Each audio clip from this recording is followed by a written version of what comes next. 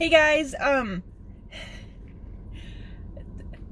I'm, I know I've been gone for a long time. I'll make, uh, I'll start making videos again soon. I swear. I just, ugh, so, it's so uh, much work. Um, this intro is just to say that this video that I'm posting right now was extremely requested and still is extremely requested even though I do not have the hair for it anymore.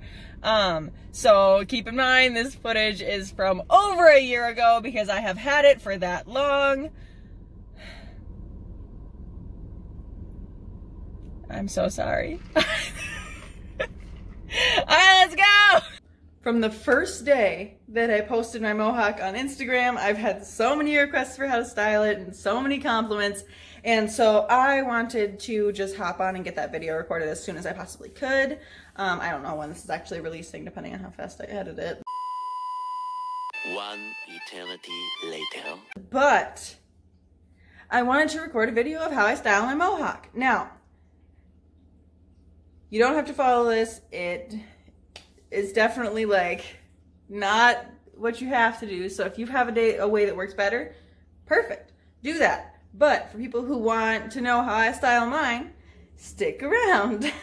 okay, so first of all, you gotta wake up. My hair already looks kind of gross, but that's because I slept in some hair product.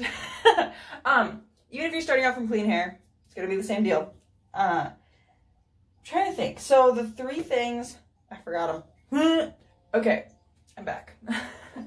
um, so the four things, I guess, depending on the environment you're gonna be in, so like how strong you need your mohawk to be. Um, you don't necessarily need to use all of these. So like I don't use all of these every day. Um, but depending on where you're going and if you need to have your hair be able to survive through a lot. Like if you're going to a show, you're going to want to use all four. But totally up to you. Figure your own stuff out. For sure, test what works for you. Um, the things are shaping cream. So this one's just American Crew. It's not normally what I use, but it's what my husband had, so using it. Um, then this is the most important one. So it's got2b glued blasting freeze spray, yellow bottle, horn front. This is the most important thing. This is what you're going to need no matter what. So the hairspray is what does most of the work. Um, got2b glued, ultra glued invisible styling gel is the other one. Um, mine has a band-aid on it because I accidentally poked a hole through it. So I put a band-aid on it and it's worked. So my hair gel's metal as fuck. Kidding, because he uses band-aids. Um, and then a blow dryer. I have this one. Any blow dryer will work as long as it can blow dry things. First step that I do, ignore the fact that I already have shaving cream on my hand, is you need to separate out, if you're like me and you have fringe that you want to stay down, I'm gonna throw this in my hair somewhere.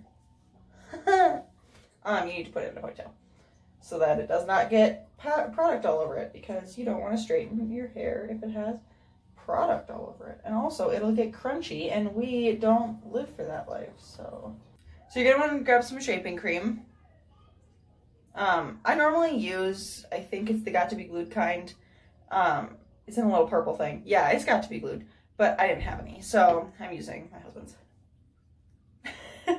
um, take a little bit of it and just rub it around in the tip, the finger parts. Don't go into the palms of your hands because it gets sticky and super gross. Um, and then literally what you're doing with this is you're going in for your roots to make sure that the majority of your hair is sticky. So your hair's gonna look crazy. But you just wanna go in with the shaping cream and make all of the area of your roots, especially the middle of your hair if you have a thick mohawk like me, you're gonna wanna get that all sticky because this is what's going to help your hair stay up throughout the day. Now, if you're not doing anything super important and you don't need your hair, like, I mean, if you're not doing anything super active and you're not in need for your hair to be fighting the whole world, you can skip this step for sure. So, this is the most important step though.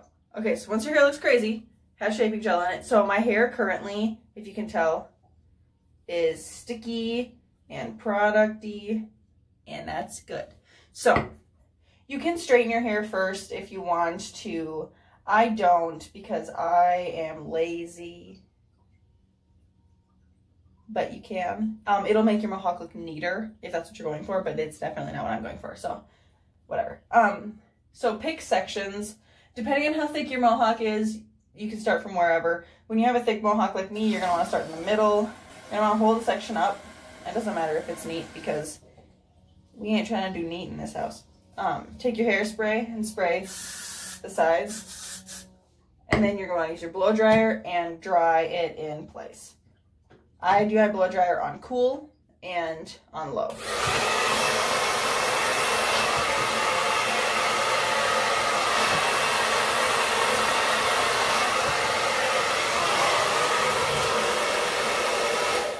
See that?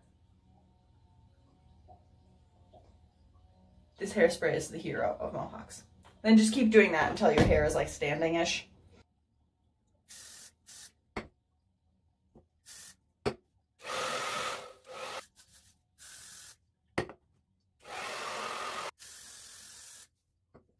Okay, so once you have your hair all like standing, then you want to pull up the rest of the sections and hairspray them into each other so you have a pointy mohawk. Now I like to have super messy hair, so I'll go through and like scroof it around a lot so that it kind of looks death hockey, uh, you know. Now, one thing you got to keep in mind with this, what a lot of people seem to not understand, this stuff's going to make your hair super crispy, okay? Like crunchy as hell. You're not going to be able to comb through it. So be ready for that.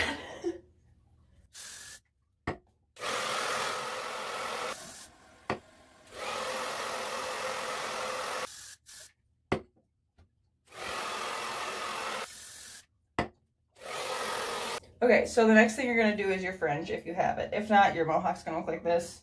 You got a mohawk. um, again, like obviously as neat as you want it. I don't like my being neat. I also don't like not having fringe because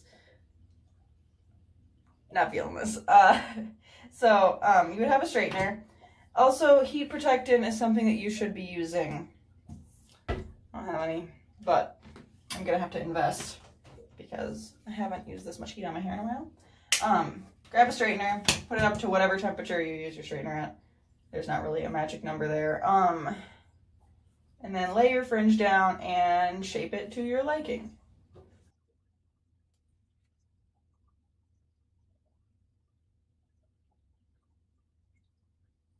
But then yay, once you got your fringe down, um, adjust the front of your hair to your liking, whatever. I like to pull mine down so that it points over my fringe a little bit.